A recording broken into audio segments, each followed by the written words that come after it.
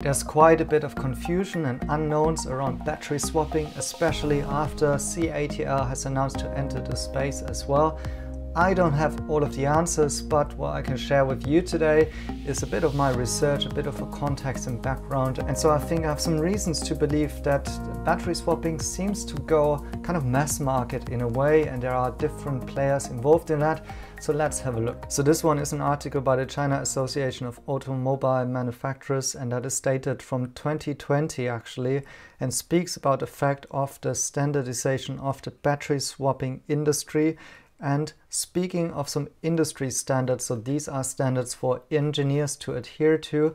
And the article speaks about the fact that NIO, so that's Weilai here, is deeply involved in actually formulating and drafting those industry standards. Now here's an update to that development and that's another article that came out by the end of 2021 and basically says that now these industry standards have been published. So the construction requirements for EV shared swap stations are in these principles and basically these are now the final industry standards released for battery swapping in China. So it seems like those standards are finally released. And these kind of standards are not only defined for passenger vehicles but also for heavy duty trucking. And so the context of this is that the industry is looking to standardize the battery swapping because only if there are battery swapping standards out there, it is better for all of the OEMs to adopt. And these are some pictures how like the different manufacturers and policymakers are like meeting and in these kind of conferences which has possibly taken years now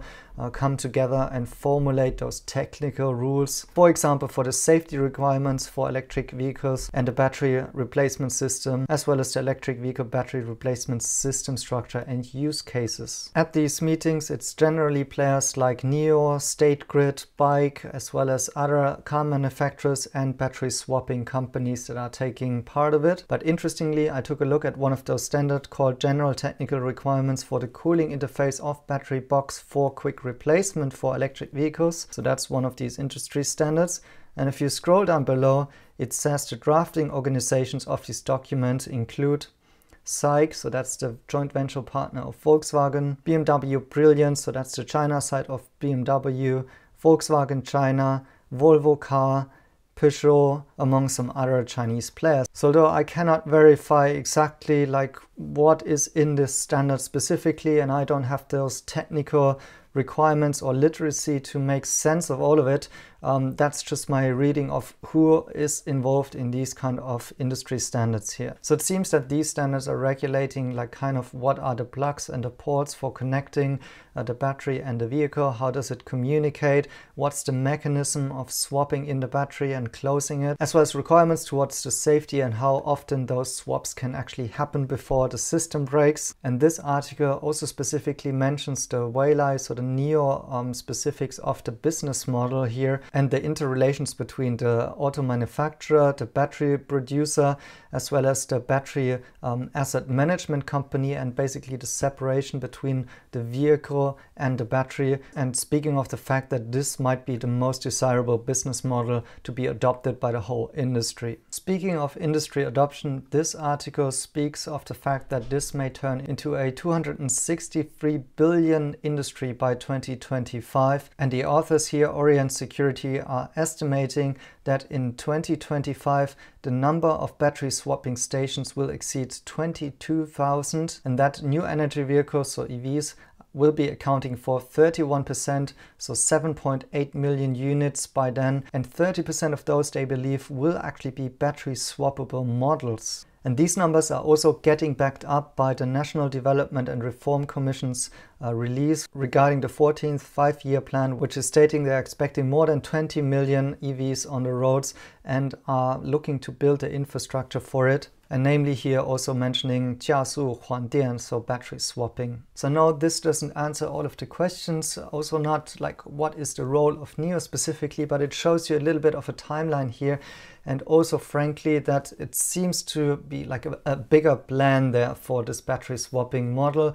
But not only for passenger vehicles but also for other industry parts like trucking and so on. And basically also this huge uh, issue of standardization of the batteries as well as the battery stations and possibly compatibility between the different manufacturers and OEMs there. And CATL already mentioned in a presentation that they believe 80% of vehicle platforms can actually integrate their type of battery swapping which they are offering. And actually there are even today battery swapping examples that can take different types of batteries somehow and even different types of um, mechanisms. And I also found another Chinese article which mentions as long as NIO's vehicles are using a, a unified standard, the NIO power stations can serve all NIO owners and is not restricted by standards of other models. In the future, with the increase of vehicles with battery swap function, NIO battery swap stations can also use the above mentioned battery sub-silo management and locking mechanism technology to serve other brands of electric vehicles. So although there is no news by CATL or NIO specifically of how these systems might be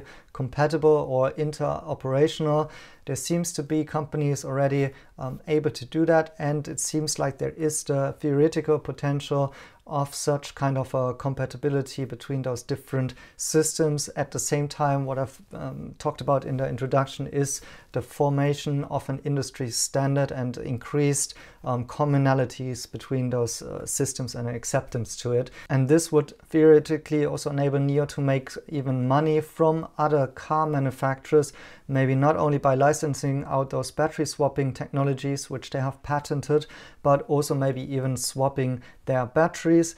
And this article also speaks about the fact that a 20% utilization is the break-even point for reaching profitability of such a battery swapping um, station in general. So they have done a return on investment study about it, also including um, the cost of building the swap station, but also the, the, additional batteries that are necessary in the system. Although my general take here currently is that for NIO, battery swapping is some type of a marketing activity. So, so also regarding to the cost of battery swapping, which are not minor to be honest, um, just see them as a way of marketing expenses. It is a way of increasing the customer satisfaction. It's a way of having people talk about NIO because whether you like swapping or not, you may hate it, you may think it's unnecessary, you may think it's overdone from an engineering perspective, you may think it's too expensive.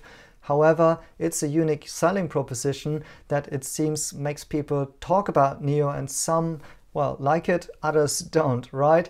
Finally, a battery charge that takes no longer than filling a conventional car with fuel. I mean, I have to say, that's genius. That really is fantastic, isn't it? It's yeah. it's it's beyond fantastic. And it's we amazing. haven't even had to get cold, our hands no, wet, no. messing around with wires, no. nothing. It's really clever. This is the future of recharging your car. It is a proper game changer. We believe so. Yeah. When are you coming yeah, to the yeah, UK? Yeah, yeah, yeah, yeah, yeah, yeah. when can we see these these working in the UK? And so um, this comes kind of as a, well, not a free marketing, but some sort of a marketing in that regard already. And well, we'll see like how this um, big plans here from China on the policy side, as well as the industry standardization, will actually lead to some um, network effects, economic um, effects there on the scaling side, and also possibly, at least in China, a certain acceptance or normalization of battery swapping that it's not even um, that uncommon anymore. And uh, that's what I talked about in the last video as well, may benefit in terms of NIO, that once people have swapped batteries in maybe some of those cheaper mass market cars that seem to be rolling out into the future, then once you do an upgrade into more premium luxury variant, um, will you go back to a non-swappable vehicle? I'm not so sure about that. I know it doesn't explain everything, but maybe some talking points also for you in the comments. So thank you guys for watching and see you in the next one.